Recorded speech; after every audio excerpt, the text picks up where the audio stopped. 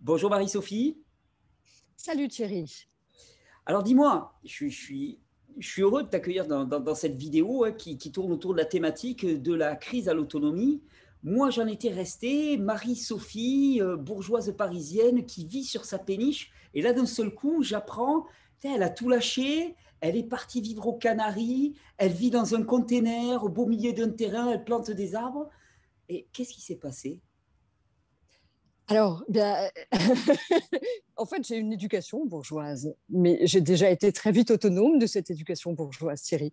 C'est-à-dire que sur le bateau, j'ai vécu six ans sur un bateau avec 25 tonnes de terre. J'avais déjà mis euh, euh, des ruches, des arbres, des fraises, des framboises, des pommiers, des poiriers, des choux. Donc, euh, j'ai toujours vécu très solitaire, donc très à l'écart d'un monde social, puisque je ne connais pas les gens, je ne vais pas dîner avec des gens, je ne vais pas boire un thé avec une copine, je ne sais pas ce que c'est. J'ai besoin de beaucoup de solitude pour travailler. Et, là, bah oui, en fait, je suis, je suis venue ici parce que je voulais planter des arbres, et puis parce que j'avais plus envie d'être à Paris. Quand j'étais en, confinement chez Mimi et Jackie, euh, j'ai découvert une île absolument incroyable avec un printemps éternel et la nécessité surtout, bah, à la faveur de cette crise qu'on a traversée, où, j'ai tout de suite vu qu'il y avait vraiment une couille dans le pâté, comme on dit, en termes culinaires, enfin culinaires. Bon, tu vois, moi aussi, j'ai le mot un peu décalé. Euh, bah, je me suis dit, c'est non, il faut changer ma vie. J'ai changé mes valeurs, j'ai changé ma vie. J'ai tout de suite acheté un terrain. J'ai été un peu très vite. j'ai sauté cœur par-dessus tête. Et il y a eu un moment quand même, alors j'ai tout, quand, tu es venu me voir sur le bateau, j'étais en plein déménagement, j'étais dans les cartons, j'ai mis trois semaines à bouger, à déménager. Donc je me suis retrouvée à un moment ici en me disant, la tête suivait pas. La tête, c'est comme une petite fille qui suivait pas, qui dit attendez-moi, attendez-moi. Tout a été très vite et je sens que j'ai été vraiment guidée par mon cœur ou par mon âme. De venir ici, tout a été très vite, tout est déjà installé, il y a des centaines d'arbres plantées. J'ai été très aidée, je me suis sentie très soutenue par la vie, par la logistique, euh, dans, dans, ce changement de vie. Donc je me suis dit qu'il était juste. Alors, on va reprendre. Mais la petite fille, j'ai mon mental qui courait après en disant c'est pas possible, c'est pas vrai, c'est trop bien, c'est comment. Elle, il fallait vraiment le mental, c'est un emmerdeur parce qu'il ne comprenait pas, alors que le cœur réglait tout sans, bah, sans faire beaucoup d'efforts, j'ai eu l'impression, pas tant que ça. Marie-Sophie, on va reprendre un petit peu au début. Bon, je pense qu'il y a quand même pas mal de monde qui te connaît, mais euh, tu, bon, as une carrière dans, le cinéma et ainsi de suite. Et puis, un moment, tu as découvert la, cuisine crue, la gastronomie crue même, et tu t'es lancé, comme, bon, voilà, comme, on voit de ta personnalité, c'est-à-dire tu t'es lancé totalement, entièrement, sans rien retenir, dans la création de, de, vraiment de recettes crues, l'invention même d'une cuisine, d'une certaine manière. Et quand tu parles du bateau, c'est parce que tu avais, euh, tu avais équipé une, une, péniche, une énorme péniche à Paris, que j'ai eu la chance de pouvoir euh, voir juste avant que tu t'en sépares. Qui ah ouais, 15 jours avant. 15 jours avant, je l'ai vu in extremis, qui est une sorte de jardin flottant, parce qu'il y avait des plantes qui poussaient de partout. Et c'était là où finalement, ben, tu, tu tournais des vidéos, tu donnais des formations. Tu peux nous parler un petit peu de ta vie d'avant rapidement? Alors, la vie d'avant, c'est que j'ai découvert la. En fait, tu sais que j'ai fait un jeûne euh, après une agression, après un truc, un épisode un peu dramatique. J'ai fait un jeûne, je me suis arrêtée de manger. Je n'ai pas du tout. Et j'ai, à l'issue de ce jeûne, je n'ai eu envie de manger que cru. Donc j'ai vraiment répondu à un appel du cœur. Je ne savais pas qu'on mangeait cru, qu'il y avait des crudivores, qu'il y avait des raw foodistes euh, aux États-Unis. Donc c'est vraiment un appel du cœur et du corps, et pas du tout une séduction euh, théorique. Et en fait, Ouais. Et après, je me suis rendu compte qu'il y avait des raw foodistes aux États-Unis. Il y avait une école de, cuisine. Comme il fallait que je me fasse plaisir, j'ai tout de suite fait des recettes parce qu'il fallait que je reprenne du poids. J'étais maigrelette quand même après ce, long jeûne qui avait réussi réinitialisé toutes mes papilles et mon mental et mon cœur, enfin tout mon corps. Je ne pouvais plus manger rien de transformé, ce qui m'arrive très rarement encore maintenant. Et, du coup, j'ai été aux États-Unis, je me suis formée. Et là, j'ai vu que les recettes de cru, elles n'étaient pas très, très appétantes. Donc je me suis dit, il, faut vraiment que ce soit bon, parce qu'on ne mange pas pour nourrir euh, son foie, son intestin, sa cellulite si on en a. Non, on mange pour se faire plaisir, on mange pour se restaurer les batteries, se revitaliser, se régénérer, pour prendre un mot cher à ton cœur. Et donc, il faut que ce soit bon. Et comme j'ai la chance de goûter des vins depuis que j'ai 12 ans et que j'adore aller au restaurant, c'est un érotisme pour moi de, de manger, eh bien, et que je, cuisine depuis que je suis petite, du coup, j'ai vraiment fait des recettes gastronomiques. D'accord. Et ça a été le début de ton aventure là-dedans, que tu as ah développé en combien d'années? Parce que tu, sur la péniche, à Paris, tu es resté quand même quelques temps. Bah oui, en fait, tout de suite, je suis rentrée, j'ai filmé des recettes tout de suite. Pas des recettes où je me filmais moi, j'osais pas. Euh, j'ai fait des, des, des, animations, des, stop motion avec Dragon Frame, euh, donc où je bougeais d'un millimètre pour que cette nourriture vivante, elle se meuve toute elle sur le plan de travail et qu'on voit comment les recettes se, mettaient dans le blender, comment ça ressortait. Ça, c'est un travail énorme que je ne referai plus, plus jamais, mais qui est fait qui est, qui beau. Mais surtout, je ne pensais pas en faire un métier. Moi, quand j'étais dans mon école là-bas, j'ai créé le caramel. Tout de suite, il est parti sur Internet. Je ne savais pas que je serais vraiment rechef. Euh, mais quand j'ai vu que c'était que ce que je faisais était si bon et que c'était si génial de manger cru, je me suis dit, il faut que tout le monde le sache. Donc j'ai fait un site internet. Je pensais que ce serait un feu d'artifice, une révolution. C'était un paix de lapin et un paix de lapin qui a mangé des pois chiches, du genre, mais même pas. C'était un paix de lapin. Et je voyais que ça prenait pas. En fait, euh, j'ai, enfin voilà, et ça fait pas longtemps en fait que que, que, mes recettes sont vraiment partagées. avant, elles étaient partagées entre les, les pros de la raw food, tu vois, mais, mais, pas pour le grand public. Et là maintenant, euh, voilà, ça, ça se diffuse, c'est parce que c'est génial cette nourriture crue, mais tu le sais bien, toi, ah, c'est fou. Ô combien, je le sais, ô combien. Et que et j'apprécie énormément aussi parce que tu vois, euh, moi j'ai une approche de la nourriture crue qui est une approche un peu de, barbare par certains côtés. C'est-à-dire que non, mais je mange quand j'ai faim, quoi, tu vois. Et, et, souvent, je, je, ne prends pas ni le temps ni le soin de faire des belles préparations parce qu'en fait, je mange que pour moi et, et je ne vais pas faire de la, de la recherche dans ce domaine-là. Et c'est vrai que j'apprécie énormément qu'il y ait des personnes comme toi qui fassent ce type de recherche pour aussi amener l'alimentation crue sur des tables où elle, sinon elle n'aurait pas lieu d'être. Tu vois ce que je veux dire? Pour aller sur des tables de ouais, parce que je sais, je eh oui, parce que mais, même pour manger chez soi, ouais. même pour manger chez soi, Thierry, il faut que ce soit bon. Euh, c'est un plaisir quand même auquel on peut avoir accès trois fois par jour, euh, ce qui n'est pas négligeable, même quatre ou cinq. Donc il faut que ce soit bon et qu'émotionnellement on soit nourri. Et puis en même temps, les gens qui viennent sur mon, enfin qui sont formés par moi, me disent au moins c'est bon et du coup on peut convaincre euh, son mari, sa femme, ses enfants, ses voisins. Et ça c'est bien. Et si on veut manger cru longtemps, il faut que ce soit bon. tu vois? ah, Moi j'ai mangé là pendant un an, ça fait un an que je mange des fruits. Hein qu'est-ce que j'étais contente de me faire une recette. J'ai tourné, c'est pour ça que j'ai mis ma, mon, habit de chef et mon chapeau de chef hier pour la première fois depuis un an, Thierry. D'accord, d'accord. Alors, on va parler de ça. Qu'est-ce qui fait qu'à un moment, toi, tu es sur ta péniche, tu es à Paris, tu fais des recettes, tu fais des formations. Qu'est-ce qui fait qu'à un moment, tu switches complètement, tu décides de tout claquer, euh, de, de, tout quitter? Confinement. Confinement, c'est ça la Confinement. Ah oui, ah bah oui. Là, je me suis dit, il faut remettre tout à plat, il faut changer ses valeurs. Déjà, d'avoir été chez, Mimi et Jackie, c'était super inspirant. Euh, j'ai vraiment eu envie d'habiter une terre et de planter. J'ai toujours voulu planter, même sur une péniche, même sur des balcons, même sur des terrasses, même sur des petits balconnets, même dans ma cuisine, des graines germées. Parce que les, graines germées, c'est un jardin dans, sa cuisine qui nous donne les, les plantes les plus fraîches, les salades les plus fraîches sauf si on va les cueillir dans un potager. Donc, je me suis dit, oui, la main, il faut planter. Ce qui est important, c'est pas d'être à Paris, c'est d'avoir une terre pour planter. Alors, quand je plante 42 avocats, 150 euh, arbres à Guanabana, c'est pas pour moi. Je ne sais même pas encore pourquoi je le fais, Thierry, mais je sais qu'il faut faire un endroit de ressources pour qu'après, on puisse partager, faire, faire du troc, vivre d'une façon plus vertueuse.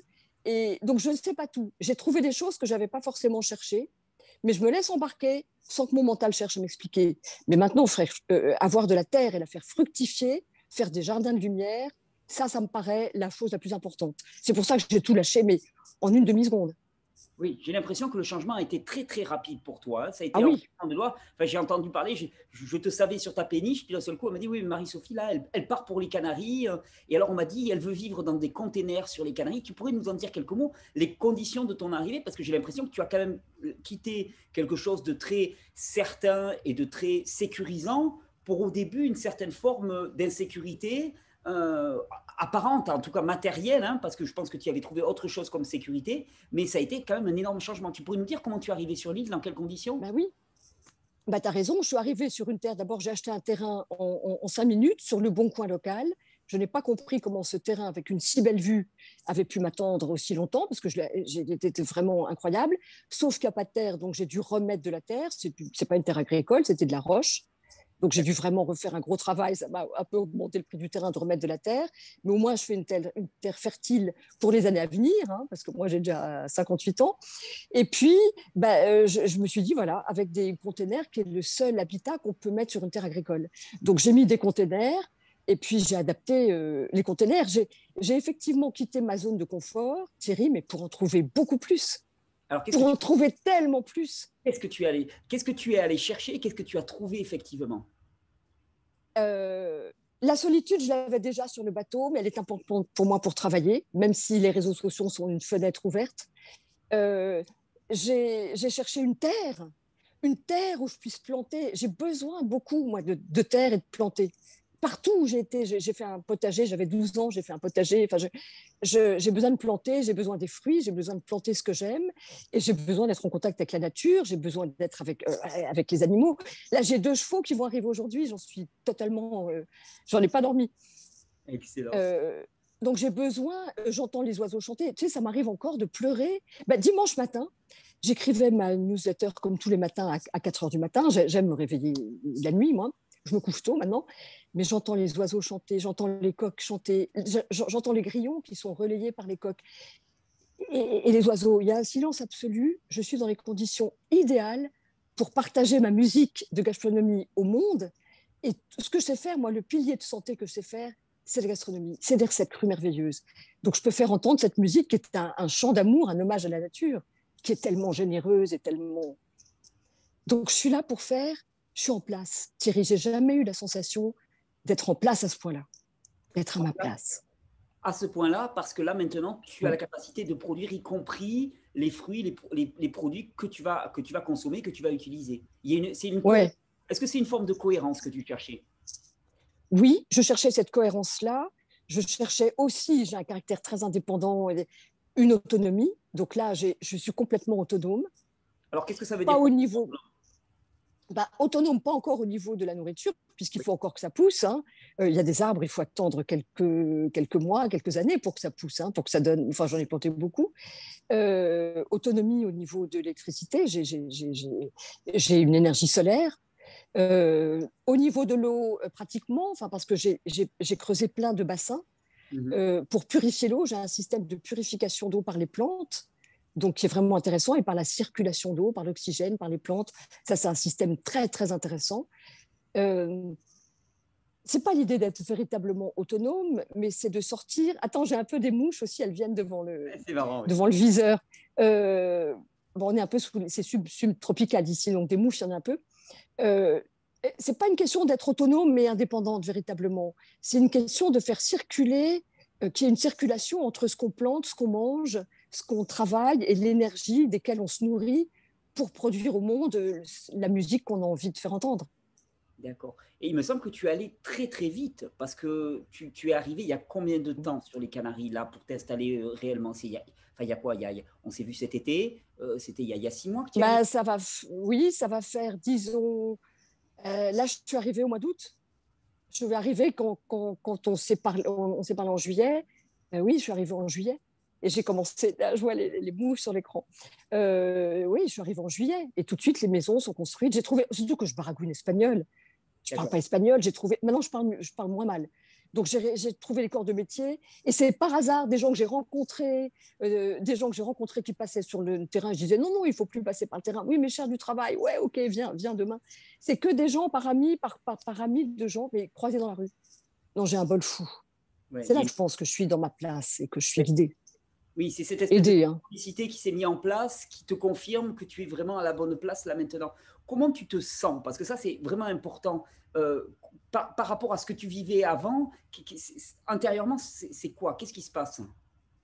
Mais beaucoup plus en place, beaucoup plus calme, même avec cette excitation amoureuse. Ah, je mange plus en ce moment parce que je suis comme amoureuse avec ma formation professionnelle. Je lance une formation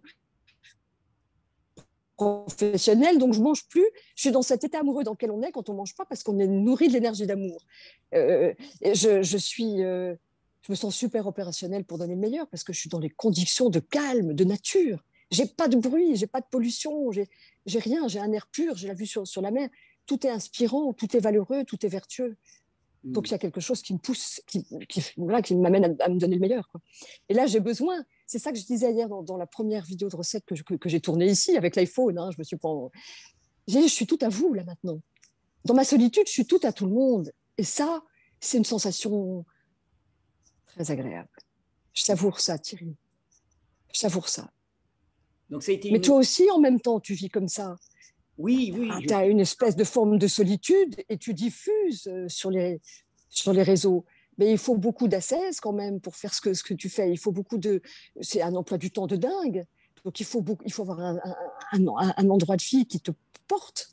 Oui, oui ça c'est toujours très très important pour moi. Et puis pareil que toi, euh, vraiment, moi, ma, détente, entre guillemets, c'est de planter des arbres, c'est d'œuvrer sur le terrain, c'est d'œuvrer avec la terre. Et d'ailleurs, sans ça, je pense que j'aurais largement craqué sous la pression depuis très, très longtemps. Donc, c'est vraiment l'ancrage qui, qui, qui, est vraiment important et qui permet après de se développer, de porter des fruits, exactement à l'image de l'arbre. Donc, ça, ça me paraît vraiment le, le point fondamental. Et, et, toi, à ton niveau, là, maintenant, tu me disais, hier, j'ai retourné ma première recette, c'est-à-dire que là, tu, tu, vas, tu vas relancer la même chose qu'avant. Comment, comment est-ce que le passage de cette crise, ce changement euh, de, de, lieu géographique, ce changement de conditions de vie, est-ce que ça va changer ta façon d'œuvrer Est-ce que, est que ça a une influence sur ta façon de, de travailler? Oui, je pense qu'il y a euh, dans le nouveau monde, parce qu'on crée le nouveau monde, c'est pas maintenant qu'il se crée, c'est déjà depuis hier, avant-hier, et ça fait longtemps. Donc euh, euh, oui, donner plus de recettes gratuites, montrer cette cuisine, vraiment la diffuser largement pour qu'elle parte sur de bonnes bases, pour qu'elle se remette dans la vraie grammaire culinaire. Une belle recette, une belle recette, c'est une, une, recette simple avec peu, peu, peu d'ingrédients et facile à faire. C'est ça une belle recette. Donc donner beaucoup de belles recettes pour véritablement donner aux gens envie de manger cru, avec facilité, rapidement et ça, faut donner des belles musiques pour que les gens puissent les jouer facilement. Euh, oui, la crise m'a. oui, on ne fait plus du commerce comme avant. On c'est plus comme avant. Oui, là, il faut vraiment. Euh, il faut donner, il faut partager et il faut, il faut s'y prendre différemment. Oui. Oui, oui surtout, qu'il y a énormément de monde maintenant qui, qui prend la mesure de, du paramètre santé. C'est-à-dire que dans, dans cette crise, le facteur santé a été le facteur déterminant entre ceux qui se retrouvaient aux urgences respiratoires et puis ceux qui finalement s'en tiraient avec une petite toux et s'en sortaient. Donc le paramètre santé et donc le paramètre santé lié à l'alimentation est de plus en plus mis en valeur. Et je pense que le travail qui a été fait en amont ces dernières années, même si actuellement c'est une période où parfois au niveau médiatique et tout, on se fait quand même pas mal taper dessus parce que bon, il y a une espèce d'opposition idéologique, mais au final, au niveau du grand public, l'idée elle est passée et elle est plus que jamais en train de passer. Oui. C'est oui. de savoir que maintenant, tu, as, tu es dans un espace dans lequel tu es tout à la diffusion et à la transmission. Oui, parce que les gens ont véritablement besoin d'un des piliers de, de l'hygiène. Évidemment, il y a la respiration, il y a le corps, moi, le pilier sur lequel je, travaille, qui, est fondamental, c'est l'alimentation. Donc, on a vraiment besoin. Il y a tellement un truc dont on a oublié de parler. Enfin, les gens, toi, tu étais un des seuls à en parler.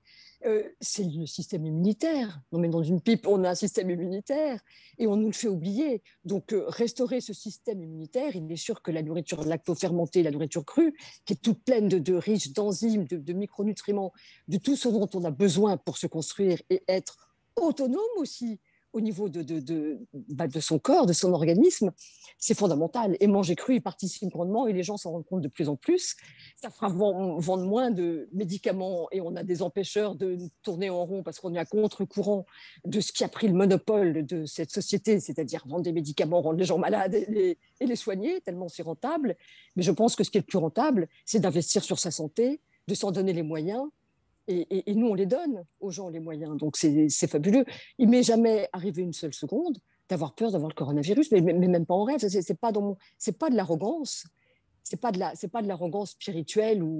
Je veux dire, c'est juste que ça me vient pas l'idée. Je sais que je peux compter sur mon corps. Je sais que mon âme s'est incarnée dans, mon corps et que ben, ne serait-ce que par respect pour mon âme, je prends soin de mon corps pour qu'elle puisse être le véhicule qui m'emmène aussi à transmettre et à partager. Mais avant tout, je ne m'abrite pas derrière la nécessité de propager cette, cette nourriture crue. Euh, ma gastronomie, c'est une mission d'âme, est vrai, mais c'est aussi le moyen qui, moi, me rend le plus joyeuse, oui. qui me rend le plus heureuse. Donc le plaisir, quand je suis dans le cœur comme ça, quand j'ai tant de plaisir, je sais que ce que je donne, c'est encore amplifié. Mais c'est d'abord de me faire plaisir et de composer les recettes que j'ai envie de manger. Et si quelqu'un me dit, je connais cette version cuite et ça, j'ai envie de le faire en cru, ah ben là, quand il y a un désir comme ça, de l'autre, je, me mets tout de suite en activité pour créer une recette, euh, la version crue. Et j'en ai fait plein comme ça. C'est oui, c'est beaucoup comme ça que tu fonctionnes. Hein. Tu te dis, voilà, on va essayer de faire quelque chose de plus sain, de plus euh, nutritif, tout en gardant le plaisir, l'attractivité que peut avoir une recette qui existait préalablement. Ça, c'est une, de tes façons de travailler. Bah oui, parce que été nourrie d'émotions cuites, de, mm. de, nourriture traditionnelle qui m'ont extrêmement émue, dont j'ai des souvenirs. Un peu comme toi, quand tu m'as dit mamie, quand tu as goûté ma crème non, non brûlée, tu as dit mamie. J'ai cru que tu me traitais de grand-mère au début. je me suis dit gonflée quand même. Bourgeoise, d'accord, mais grand-mère. Mais si, en fait, je suis grand-mère en même temps, bientôt trois fois.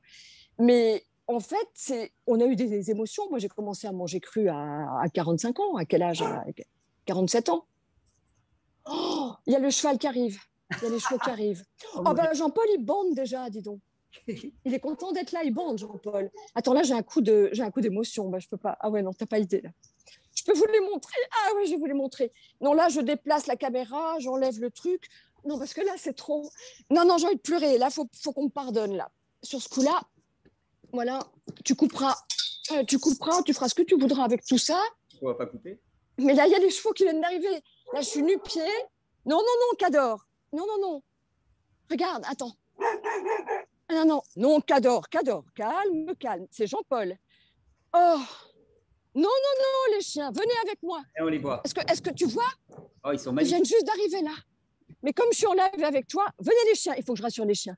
Wow, wow, wow, wow, viens Cador, viens Cador. Voilà. Bon voilà, ils viennent juste d'arriver. Magnifique. Quelle émotion pour moi. Il faut que je ramène les chiens à la maison. Venez les chiens. Cador, Iram, Belaki. Je ramène les chiens là parce que c'est... Ah, j'en pleurerais. Non mais... C'est un rêve d'enfant et je monte même pas très bien à cheval, hein, juste pour dire. Je vais les ramener avec moi. Cador, Cador, Belaki, Iram, Belaki. Belaki, Belaki. Bien, Ben, Ben. Cador, Belaki sinon, ils vont faire chez les chevaux et je vais faire les présentations dans l'ordre. Voilà, donc ils vont rester là, les chiens. Oups. Hop, hop, hop, hop, Voilà, je suis désolée, on coupera, tu garderas ce que tu voudras, on coupera. de... C'est magnifique, on a pu apprécier ton bel environnement, la vue sur la mer, c'est juste euh, magnifique. Et surtout, tu vois, moi là, ce que j'apprécie beaucoup, c'est de voir à quel point tu peux avoir Enfin, tu vois, c'est une espèce de magie au quotidien, quoi. C'est un enthousiasme. Accueillir des chevaux, ça, me fait penser, moi je vais te livrer une anecdote, mais pareil, moi j'ai eu des ânes, bon, que je n'ai plus maintenant, mais je me souviens la première fois où j'ai ramené mes ânes par la piste, en plus, parce que je suis allé par la piste, tu vois. Donc on a fait toute une journée par la piste en ramenant mes ânes avec moi, mais c'était, j'étais en, connexion avec quelque chose de, tu vois, de viscéral, quoi. C'est incroyable, incroyable. Cette connexion avec les animaux aussi est très, très importante pour moi, donc je te comprends au combien. Super important super important parce que le monde animal, il est vraiment chargé d'assurer la cohésion. Il, contribue beaucoup à la cohésion de notre monde. Il y a le minéral qui est très puissant, il y a le végétal, mais il y a le monde euh, animal qui est vraiment responsable d'une connexion d'amour très forte. Et on s'occupe de nos animaux, on est, leur, enfin, on leurs parents, leurs maîtres parce qu'on leur donne à manger, mais ils s'occupent beaucoup, au moins beaucoup plus de, nous que nous deux. Ils sont vraiment responsables de la cohésion animale, de la cohésion de l'amour sur Terre. Ils ont un rôle très important. C'est pour ça que les, ne pas les respecter, c'est ne pas se respecter et c'est nous couper de beaucoup d'amour. Et c'est quand même, on est là pour expérimenter le retour à l'amour, au chemin du cœur, euh, de retrouver cette connexion-là, parce que c'est ce qui nous lie. Et c'est le nouveau monde qui sera fait de ça. Il n'y aura plus de compétition, de propriété intellectuelle, de publicité pour faire des trucs, des machins. Il n'y aura plus ça bientôt. Enfin, bientôt. On a hâte, hein. mais on y travaille. On a hâte. Et d'ailleurs, là, je te vois, bon, tu es parti de la crise, tu es parti, et là, d'un seul coup, on voit cet enthousiasme, cette passion, on voit que tu es rempli, même l'anecdote avec les chevaux, là, c'est magnifique parce que c'est vraiment du, vivant, on te voit comme ça. Et toi, tu te vois comment dans quelques années? Enfin, je veux dire, tu projettes quoi Si tu projettes quelque chose, ou peut-être que tu projettes rien du tout? Ah, euh, si je projette juste quelque chose, bah, d'être vraiment en cohésion avec mes animaux, parce que ça, c'est extraordinaire, avec les plantes, avec les animaux, encore plus proche de la nature. Tu vois, de la bourgeoise que tu as évoqué, j'ai aussi un côté complètement, euh, euh bah, bah, un côté chaman, je dis pas ça en usurpant un terme que je connais peut-être pas trop, mais j'ai un côté euh, les pieds par terre, euh, squo, moi, à être sur mon terrain. J'ai, j'ai voilà, je, je crée ce jardin de lumière, je pense que ça va être vraiment un jardin de lumière, il va y avoir des arcs de, fleurs arc-en-ciel. Enfin, ça va être magnifique, une fleur de vie avec des orangers. Ça va être très beau pour que des gens se rassemblent, pour repenser le monde. Que des gens qui auront envie de repenser le monde différemment, parce qu'il va falloir qu'on se le reconstruise, ce nouveau monde, sur des bases va falloir, dont il va falloir parler, il va falloir communiquer de façon collégiale, de façon coopérative. Ce sera un des endroits de rassemblement euh, pour pouvoir faire ça. C'est magnifique. Ça, c'est ce que je vois dans, ce lieu. C'est pour ça que je plante tant d'arbres, parce que ce n'est pas pour ma consommation personnelle, mais je ne sais pas encore, Thierry, pourquoi c'est. Je sais que je dois le faire, je le fais. Je ne pose pas de questions. Et le plaisir que j'ai à le faire, la joie profonde, c'est plus que du plaisir, la joie profonde que j'ai, me dit que c'est bien. c'est magnifique. C'est magnifique. Marie-Sophie, je te remercie. Je vais aller te laisser faire la rencontre avec tes chevaux parce que je pense que tu les as. Oui, parce que là, je, suis en train de pleurnicher, là. c'est tellement un rêve d'enfant et c'est tellement important. Et c'est surtout des chevaux aussi pour m'aider à travailler la terre parce qu'il y a 15 000 mètres carrés. On ne peut pas faire de récolte si on n'a pas une charrue. Mmh. Donc, il me faut une charrue, il, me faut il faut des chevaux qui tirent la, la, la, charrue et ils sont aussi bons pour ça. Bon, c'est magnifique. En tout cas, ton témoignage parle pour toi-même. Je te vois épanouie, heureuse, en cohérence avec ce que tu vis. Magnifique. Je te remercie vraiment de nous avoir consacré ce temps, Marie-Sophie. Je te remercie aussi beaucoup pour toutes les newsletters que tu as faites pendant la période du confinement. Tu étais très engagée. Euh, tu n'as pas ta lampe dans ta poche. Et j'encourage vraiment les gens à s'inscrire à ta newsletter parce que tu, voilà, tu y livres des réflexions profondes, engagées, qui, se positionnent. Tu n'as pas peur de te positionner. Et ça, c'est quelque chose que j'apprécie beaucoup chez toi. Tu n'as pas ta langue dans ta poche. Euh, et quand tu veux dire quelque chose, tu le dis vraiment et sans prendre de détour. Et ça, pour moi, c'est vraiment valorisable. Toi aussi, Thierry, euh, on n'est pas là pour se congratuler, mais je veux dire, je, trouve que tu as une position mais cruciale crucial et que tu prends aussi beaucoup de risques, que pareil, tu t'engages beaucoup avec beaucoup de courage. Courage, c'est le cœur, hein, et du cœur, tu en as un paquet. C'est une espèce de, d'artagnan du cru avec les mousquetaires autour.